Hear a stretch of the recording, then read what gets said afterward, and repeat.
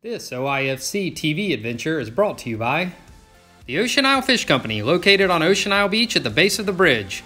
Come be a part of the show and enjoy on the water dining while the fishing fleet offloads fresh catch daily. New sushi bar now open.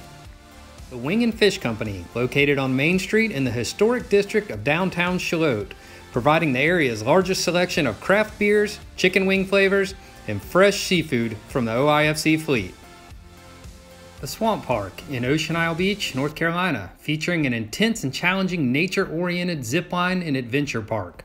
New for 2019 Get Dirty ATV Tours. Freeman Boatworks, redefining limits. And these other fine sponsors.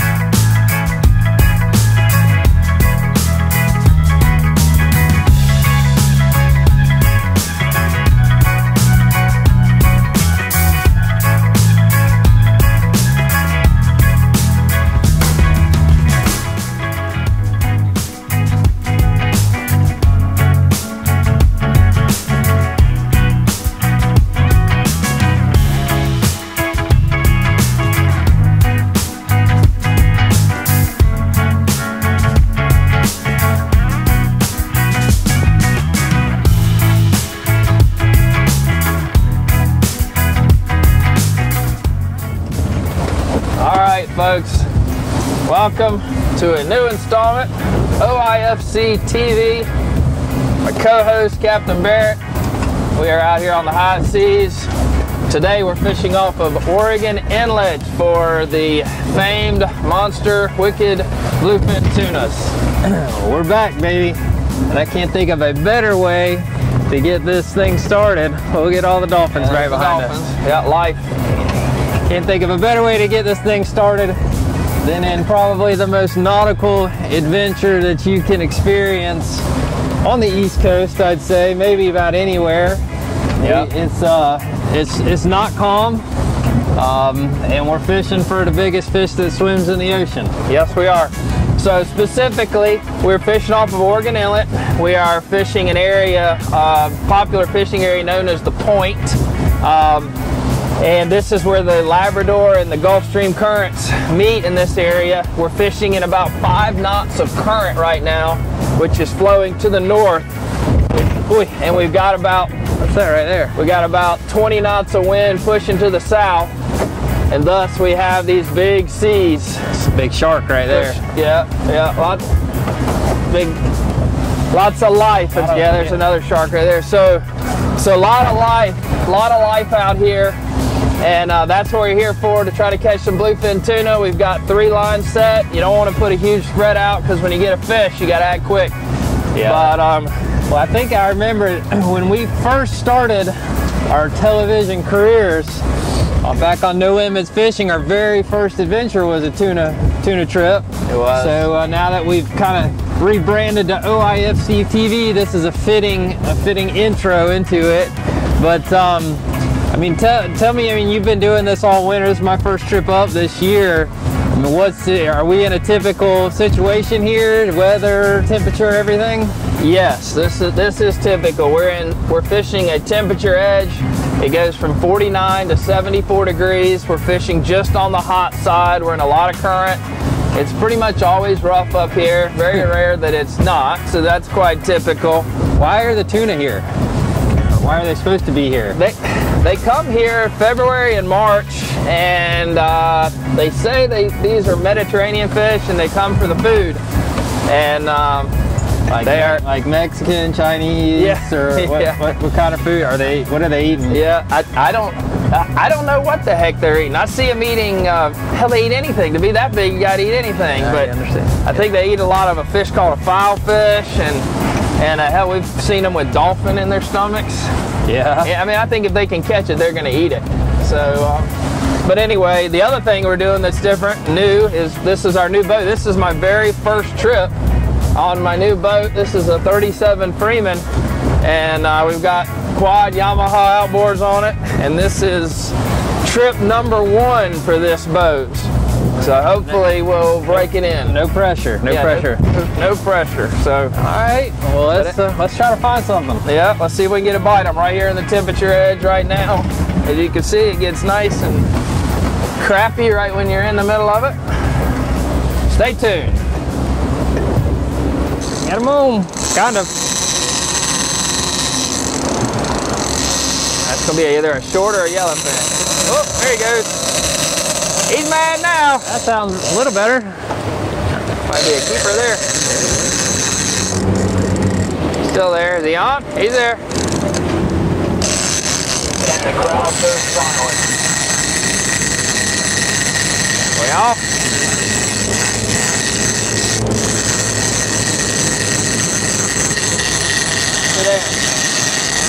He's there. Hold that one off. Or... Just uh, sitting here thinking. Had one, lost one. That sucker gonna leave us a few today. Dang. Uh, I'll leave you all you need. Wonder what happened. That act was acting like a smaller fish. Heck. Swing and a miss. First time for everything. I think that was a yellowfin.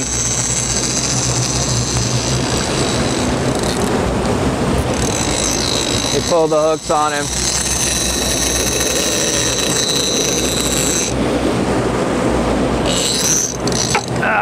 get a bluefin bite, you're not usually, they don't usually pull the hook. That one didn't have quite the horsepower.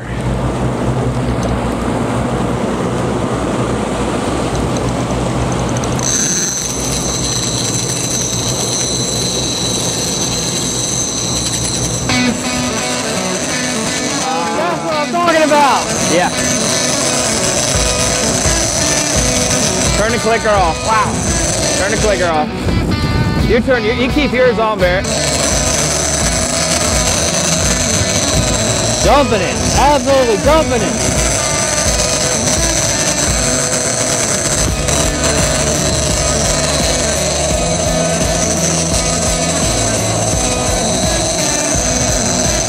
That, my friends, is a bluefin tuna.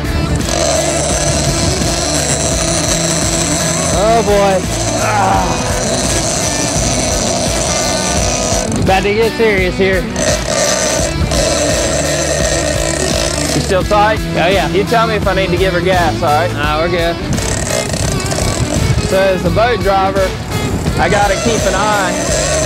I gotta keep an eye on him. That fish turns just like that. So I gotta keep an eye on him to uh, to help him keep the line tight till the fish settles in. Fish right now is obviously stretched way out. You good tight, Barrett? Oh yeah.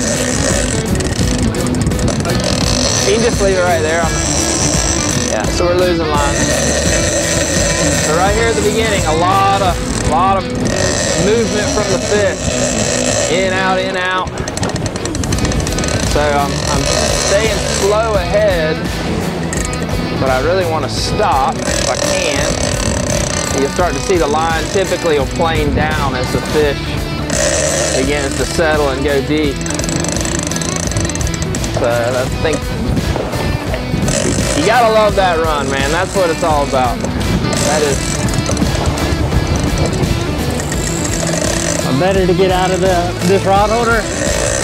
Uh, that's up to you. I usually keep it there. I don't like it swinging around. Uh, you don't. Well, you can go into solid one if you don't like that. Oh, just I'm just gonna sit still. hang in. So here, I'll come over here next to Barrett so we can watch him catch this fish. Oh, you better crank like a tongue gun. Uh-oh, gotta give it gas. Gotta give it gas. Get away from the fish, get away from the fish. There he is. Line going back out. See that quick direction change? Shot at us and then turn right around. Stay near the throttle right now. So, what we do up here, oh big wave, water coming. Woo! So what we do up here, we're fishing in thousands of feet of water. We fish bluefin in a lot of different scenarios. Back home when they come in, we could be fishing in you know less than 100 feet. So the way the fish fight is totally different. Here they're gonna run like crazy, but then they go down. Um, but anyway, back home, heck, we used to catch them in shallow water, that fishery. We use 30s and 50s just because you can always track to the fish. But I've had to go to 80 wides and hear that fish dumping more line. We've had to go to 80 wides out here just because the fish has unlimited depth. And, um, and these fish can, they'll spool you. They will, they will take every ounce your, every inch of your line. So we've gone to 80s. But got him on. I mean, I'm fine, but you're welcome to do it. if you want. What?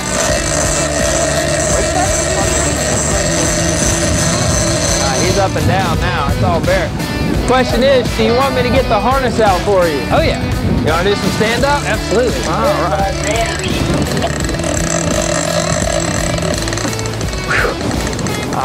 Get the feeling might be here for a little while.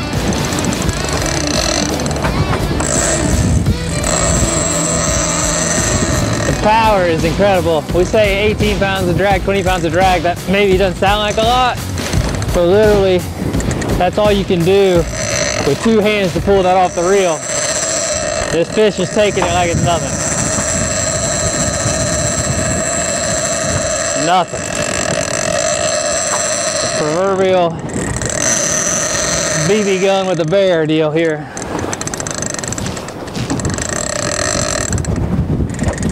Hey, Rube. Reach in there and grab a rope out. All right, Barrett. Here you go. I don't want to yeah, I'm gonna wait till I get a little closer. What? I'm gonna get on the mono and then I'll go. Oh, come on, man. Nah, you too far for that.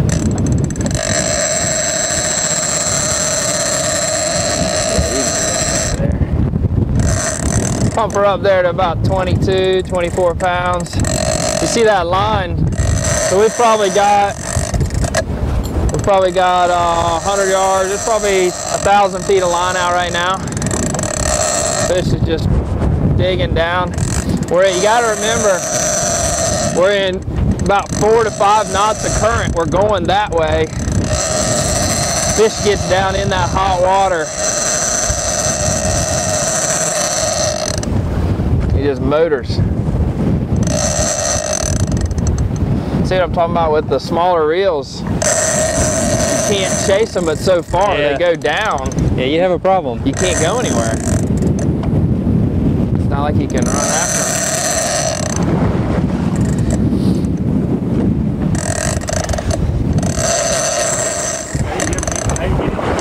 I know it. You have to make them tap. A lot of pressure, man. That's so much pressure on that line. That's the, the thing about this fishing is your tackle.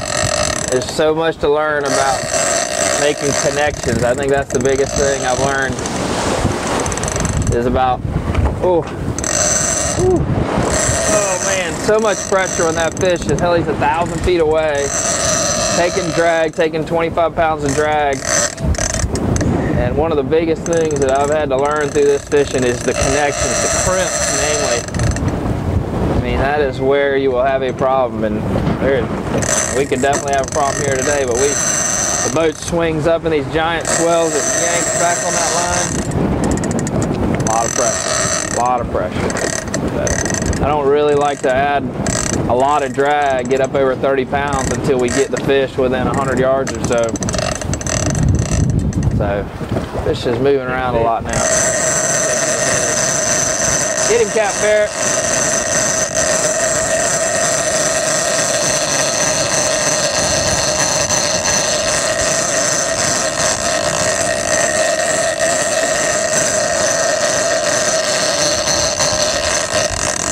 All right, release.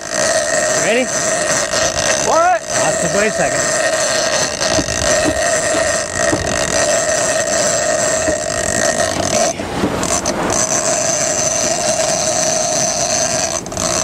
You gonna let one Hold the rod. Are we still tight?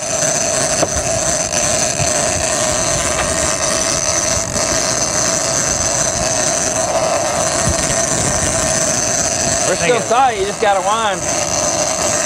Definitely still there. Come on. I can't was there, man. You got a crank. Real.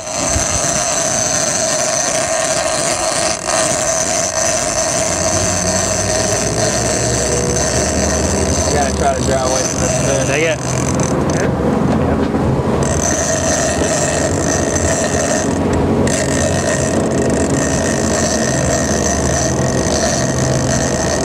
Fish is up He ain't there.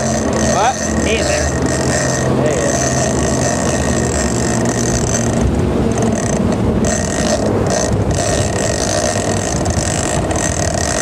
He's there. I don't know what's going on. He's there. Trust me, he's there. He's out. He's very big. or He's very smart. But he's gone under the boat. My God, he's gone under the boat. Tell me when you're good. I mean, help. Yeah. I never got one. You only went for about 10 seconds.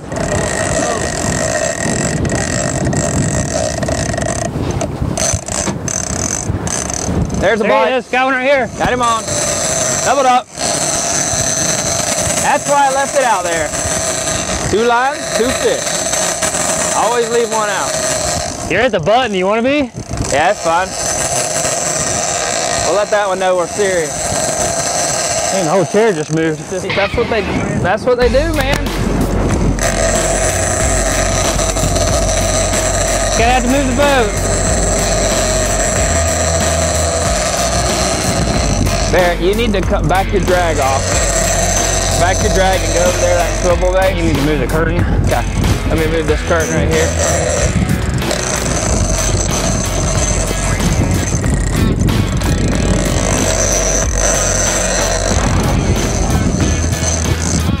boat, Brant.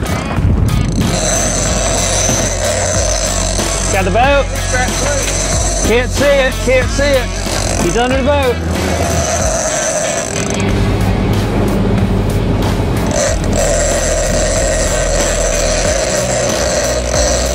What's happened now, Ruben? We're good. Got them peeling off down each side. Hit the one in the middle.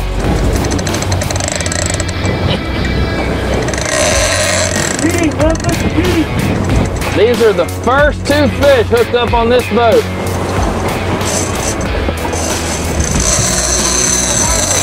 On. I might have to go help Rube here in a minute. No fish.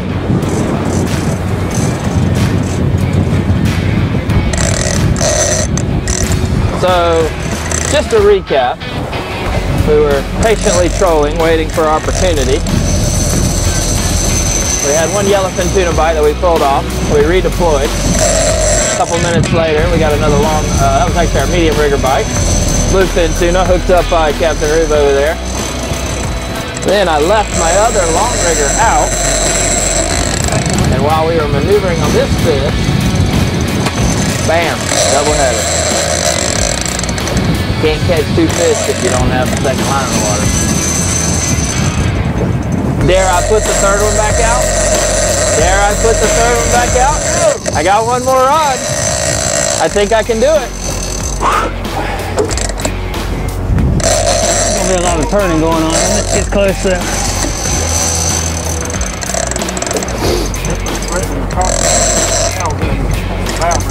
Yep.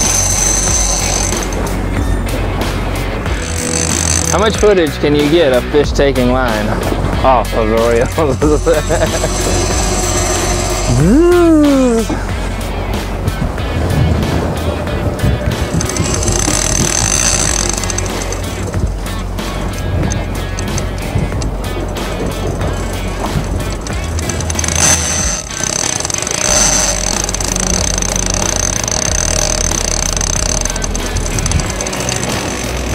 the mono on that one for a minute, Barrett.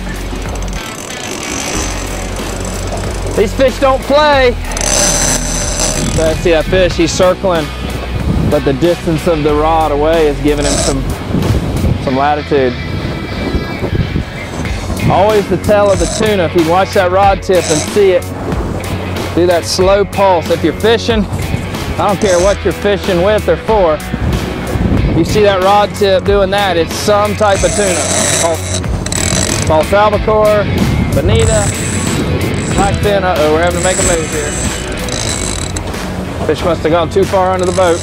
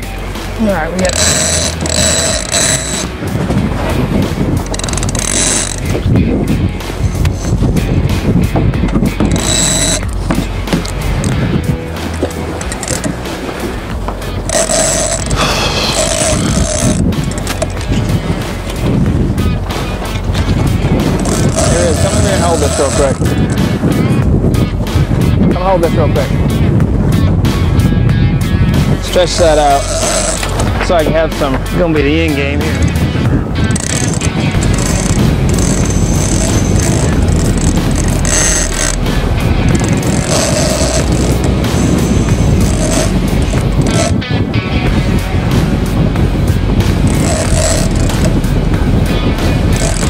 Pretty close. We got deep color. We got good color. Oh, pinwheeling. Oh, what a tank.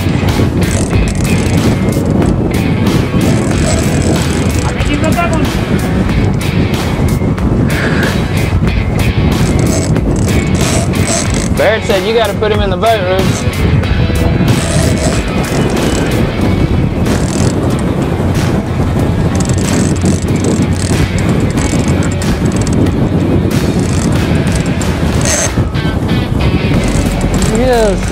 Mind you, this was the second fish we hooked. The first one Tell you still what, out there. these things fight a lot harder than the ones in the shallow water.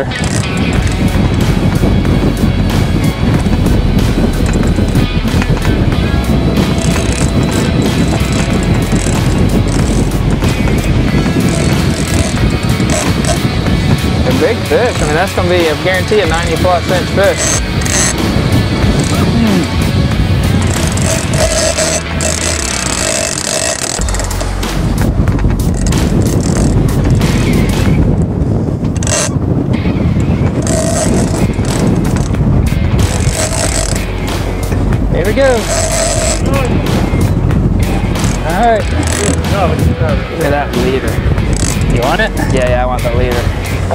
Get on the next one. Rube, be ready to put it neutral. What was that? Ow! That landing.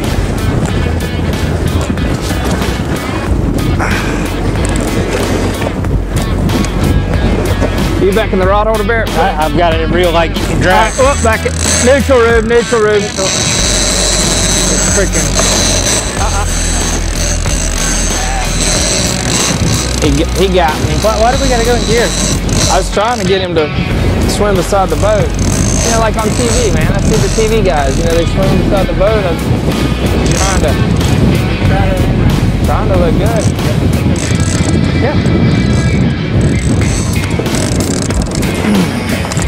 What a fish. Come on, fish. Come on, fish. There he is. Golly. Come on, fish. Turn the corner. There he is. Yeah. A good one. About a 90. Butterball, look how fat he is. Yeah. Oh. All right, put her in forward for me, Bert.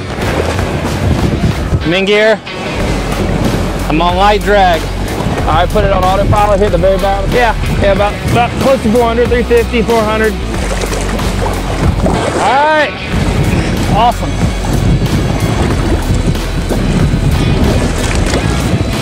Oh, I dropped my skirt. Dang gummit. Hold my skirt and drop my skirt. Woo. Fish away, catch and release, giant bluefin tuna. Doggone it, the big loss there was I dropped my skirt head. Oh well. Hey, we got another one on over there on the other side, by the way.